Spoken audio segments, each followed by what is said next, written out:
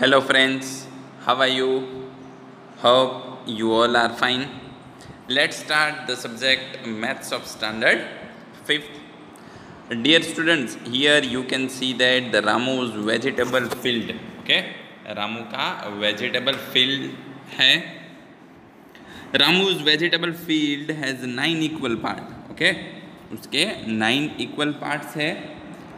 What vegetables does he grow कौन कौन से वेजिटेबल्स है वो ग्रो कर रहा है, यानी उसका फ़ार्मिंग कर रहा है। तो फ़र्स्ट वन आप देख सकते हो चिलीज है दैट मीन्स हम कहते हैं मिर्च।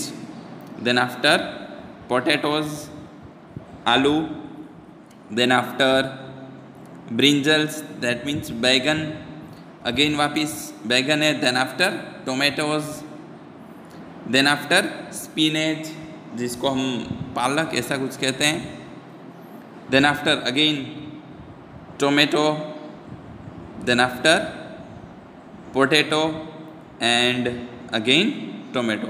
तो इस तरह से नाइन इक्वल पार्ट्स में ये रामू है, वो वेजिटेबल्स ग्रो करता है।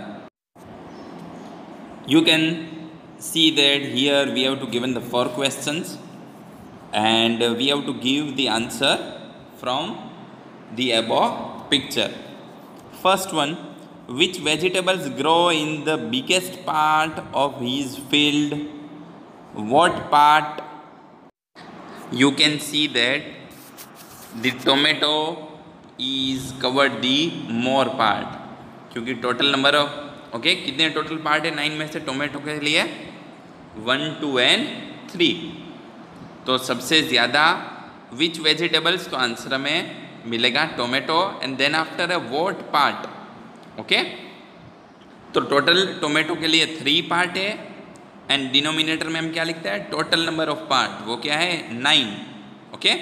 अब थ्री एंड नाइन दोनों थ्री के टेबल से रिड्यूस होंगे। थ्री वन ज़ा थ्री एंड थ्री थ्री ज़ा नाइन ओके तो वोट पार्ट उसमें आंसर मिलेगा वन बाय थ्री ओके यानी न्यूमरेटर में वन एंड डिनोमिनेटर में three one by third part है वो टोमेटो है वो कवर्ड uh, करेगा. Second one on what part of the field does he grow potatoes potatoes कितने पार्ट में ग्रो किए so you can see that potatoes two part है denominator में total number of part nine है. So answer is two by nine third question What part of the field is used to grow spinach?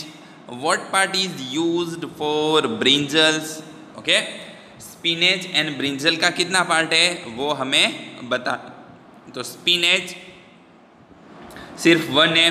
One denominator में total number of part nine so one by nine brinjal के लिए two है denominator में total number of part so that is two by nine Fourth one, now you write some questions by looking at this picture. Okay dear student uh, you can write here the questions. Okay question आप और किस तरह से बना सकते हो वो आपको आपकी तरह लिखना है प्रैक्टिस में.